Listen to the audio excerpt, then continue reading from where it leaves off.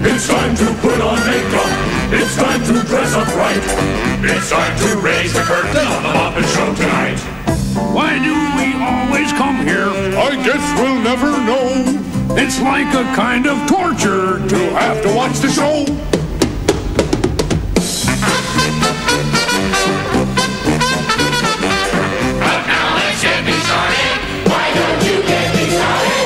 It's time to get things started on the most Sensational, inspirational, celebrational,